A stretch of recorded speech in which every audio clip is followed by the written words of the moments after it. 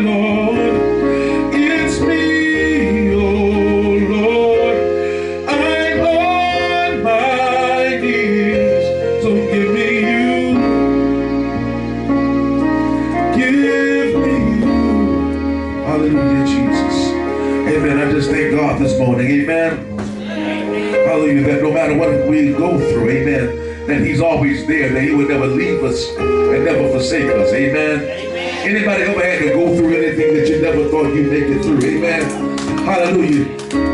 this lets me know that we have a track record with God. Amen. That if he can get us through this, he can get us through that also. Amen. So let's look to the Lord this morning. Amen. For all of our answers, all of our concerns, the things that have us worried.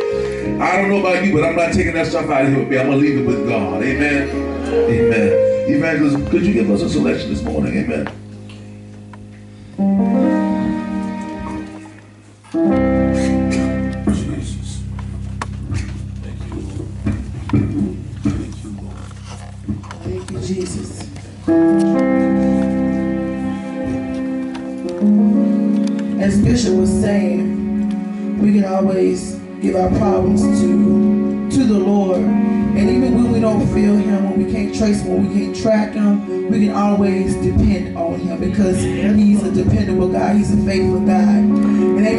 this song, y'all can just join in with me. Like a ship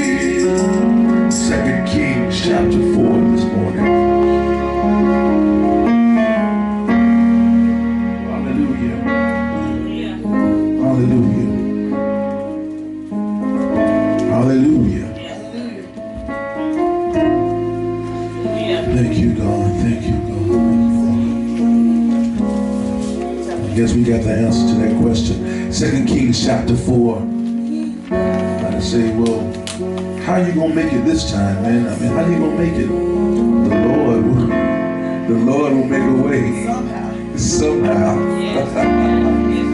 What does somehow mean? That means it's out of my hands. However, he decides to do it. It's good with me. Amen. Second Kings chapter 4. When you've arrived, say amen. Amen. Amen. Um, I don't know if any of you have ever had any experiences with the IRS. Amen. Internal Revenue Service. Amen. But they're the government agency in this country that ensures that every citizen pays his fair share of taxes. Amen. The Bible says there was a certain widow woman of the wives of the sons of the prophets. Her, her husband was a preacher, a prophet. Amen. Her husband served God. Um, in this scripture, it says in verse 1 there was a certain woman of the wives of the sons of the prophets unto Elisha. She said, Your servant, my husband, is dead, and you know that thy servant did fear the Lord, and the creditor is come to take unto him my two sons to be bondsmen. In a sense, what's happened is the husband dies and he leaves the family in debt. Amen. And the debt is so substantial that the woman is not able to pay the creditors that her husband owed. Amen.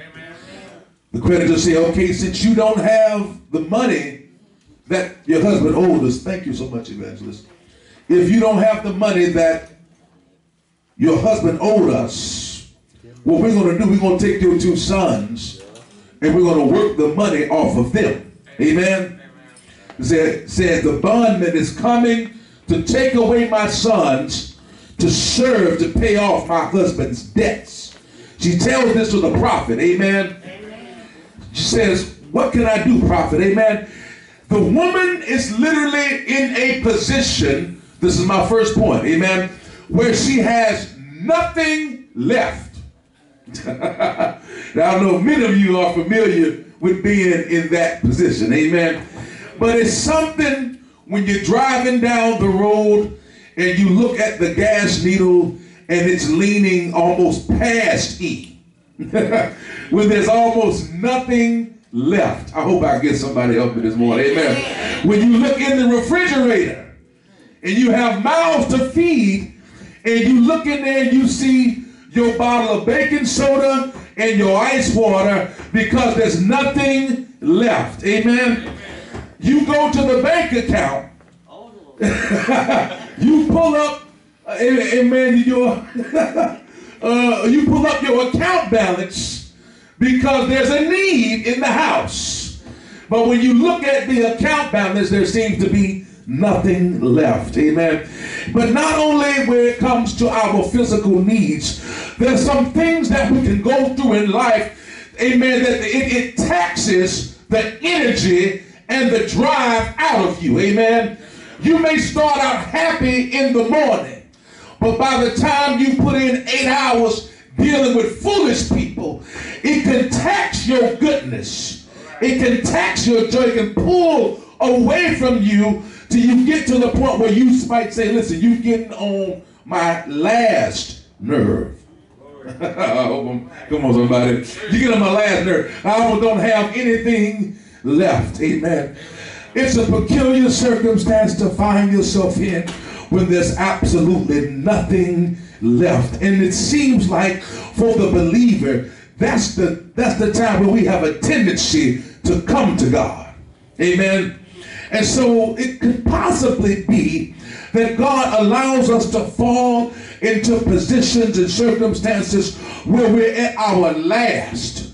Because when we have the abundance and the much, we might not be inclined as much to go after God. Amen. But the woman's husband served God. Amen. But it didn't say that she served God.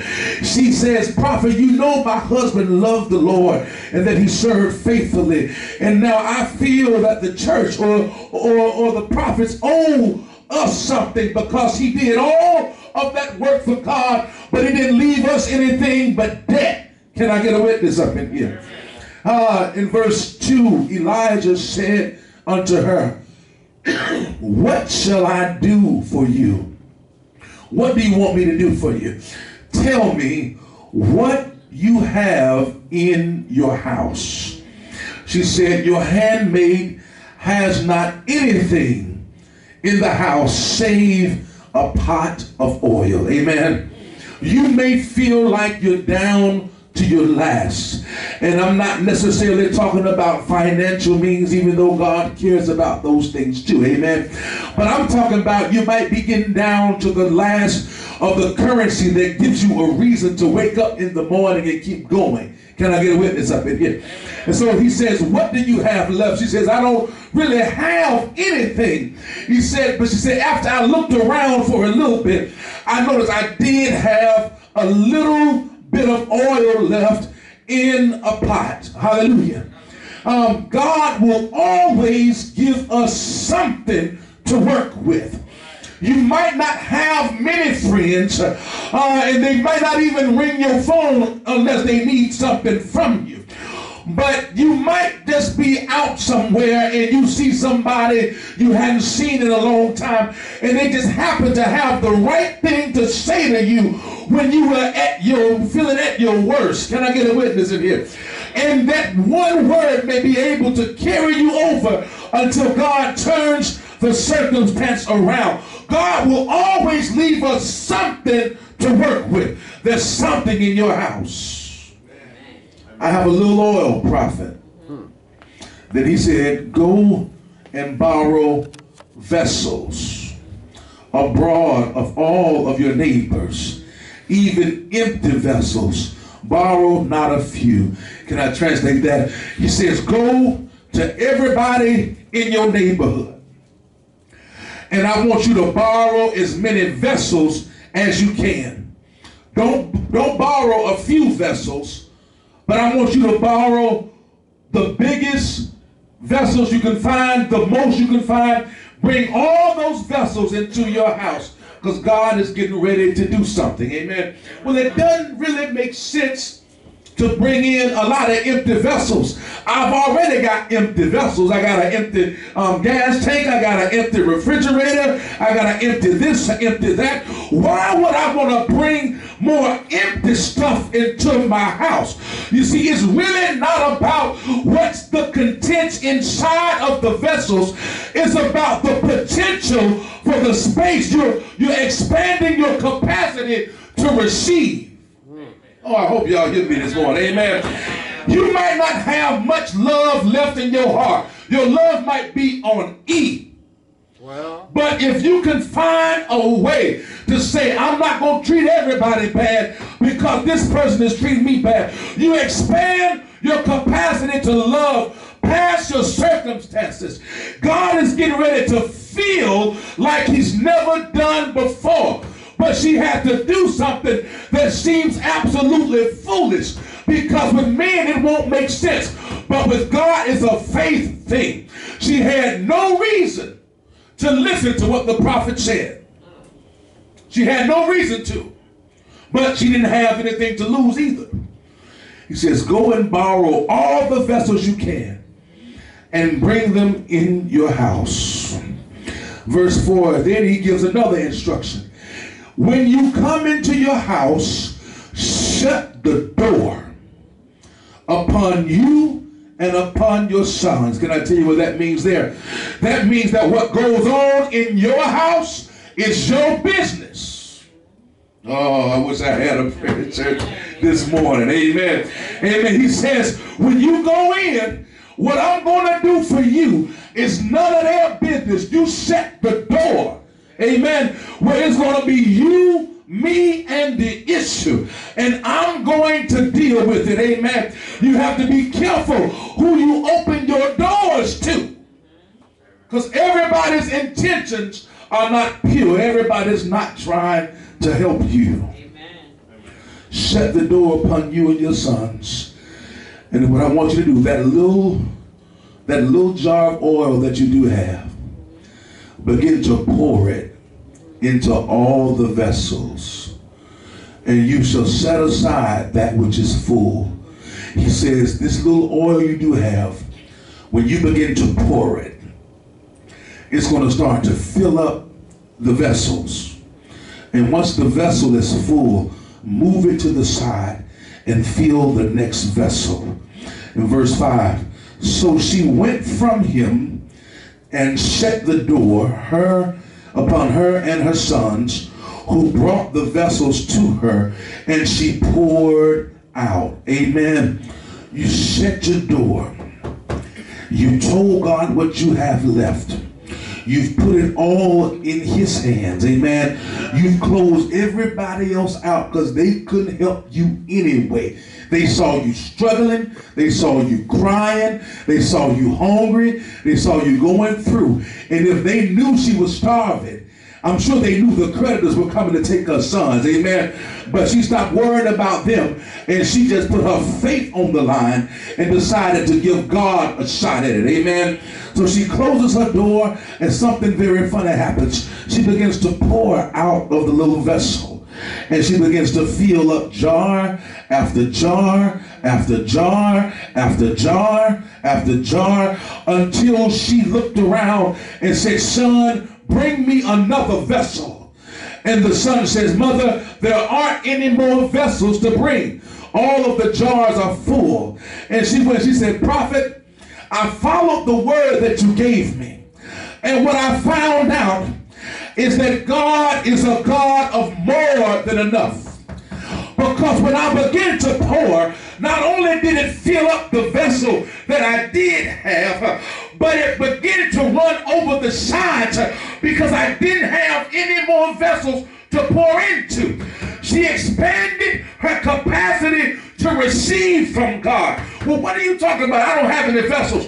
What I mean for you to do today, believer, is to open the capacity of your expectation. That means that if you got a little bit, God can take it and do the most with it. We fail when we stop believing not in our own ability, but in God's ability. Because we look at it and we say, well, there's no way that this can be fixed. No, not in the natural sense. But you're dealing with a supernatural God. He don't need your way to do it. He don't need anybody else's permission to do it. He just does it how he wants to do it. Amen. So somebody walk up to you and say, listen, God just told me to bless you. You came to church on faith and didn't have any gas in your car. But by the time you leave, you got gas in the car and something to get something to eat with. Can I get a witness up here? You see, but then that's the little bit that we expected from God. What would happen if I expected him to pay off the all the bills for the month? If I believe for gas money, God will give me gas money. If the widow woman had went out and borrowed one vessel. That's all she would have got was one jar of oil. But her need was great. So he said, don't borrow a few. Borrow as many as you can find. And then they shut the door. Amen. Amen. I hope that she had enough sense to fill every single room, every corner, every nook with a vessel. Because at the end of the thing, he says, go and sell the oil pay off the creditors, and you and your children live the rest of your life off the rest. Amen. She had nothing. She had nothing. And God is no respecter of persons. She didn't even pray to God. She went to the preacher and said, Preacher, I got a problem. Preacher gave her the word of God. All she did was do it. And she did it because she was on empty. So you might be on empty because God is getting ready to bless you. Yes, but you have to begin where my mind became closed to possibilities. As hard as it might be to hope, because it's hard to hope again. And I'm finished. Amen. Amen. It's, it, it, it hurts when you have an expectation and then it fails. Or if you're waiting on something and it fails. Or if you believe in something and then it fails. Because it begins to close that little space where you really don't want to believe it anymore. But when you put God in the picture, amen, amen. the Bible says, eye hasn't seen, ear has not heard, neither has it entered into the hearts of men the things that God has prepared for them that love him. There's no limit in God. We have limitations. We run out of space. We run out of capacity. But think a little bigger. Expect a little bit. Pray a little bigger. Amen? Pray a little. What do you have to lose? Pray a little bigger. Amen? I'm finished. To your feet this morning. Amen. Hallelujah. Hallelujah. I hope I helped somebody this morning. Amen. I know I helped myself. Amen. Because you can't tell what a person's going through by looking at them. You don't know. You don't know. And so we just trust, amen, that that that that we have enough wisdom that whatever it is, we put it in God's hands. Because what we can't handle it, he can he, he he can do wonders with it.